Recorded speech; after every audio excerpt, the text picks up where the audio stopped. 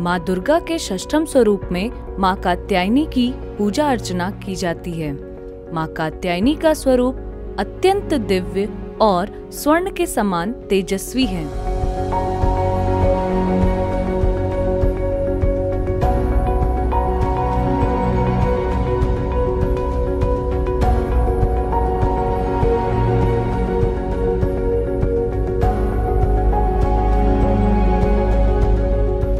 मान्यता है कि माँ कात्यायनी की आराधना से भक्तों को स्वतः ही अर्थ, धर्म, काम और मोक्ष की प्राप्ति होती है।